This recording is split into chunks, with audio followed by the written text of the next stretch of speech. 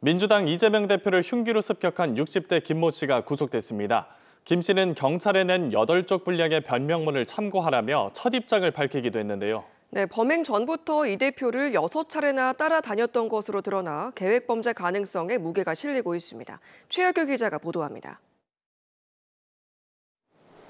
민주당 이재명 대표를 흉기로 습격한 67살 김모 씨가 경찰 호송차에서 내립니다.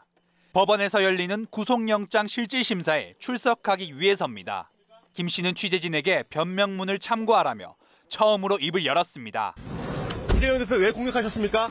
정당에는 왜 문건을 어, 경찰에다가 내 변명문을 여덟 몇 여덟 쪽짜리 제출을 했어요. 그걸 참고해 주시면 되겠습니다.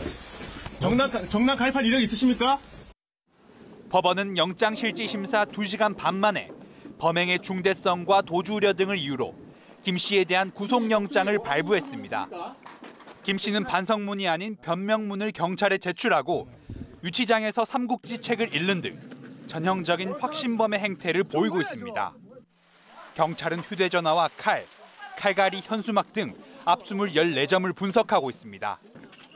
특히 휴대전화의 포렌식 결과 일부는 나온 것으로 전해졌습니다. 경찰은 김 씨의 당적과 이력을 확인했지만 공개는 불가능하다는 입장입니다. 특히 김 씨는 지난해 6월부터 이 대표를 여섯 차례나 따라다닌 것으로 알려졌습니다. 또 이 대표의 일정을 파악하기 위해 민주당에 가입한 것으로 전해졌습니다. 범행 전날에는 김해 봉하마을과 이 대표의 방문 예정지인 양산 평산마을을 다녀오기도 했습니다. 경찰은 프로파일러를 투입해 김 씨의 심리 상태를 분석할 예정입니다.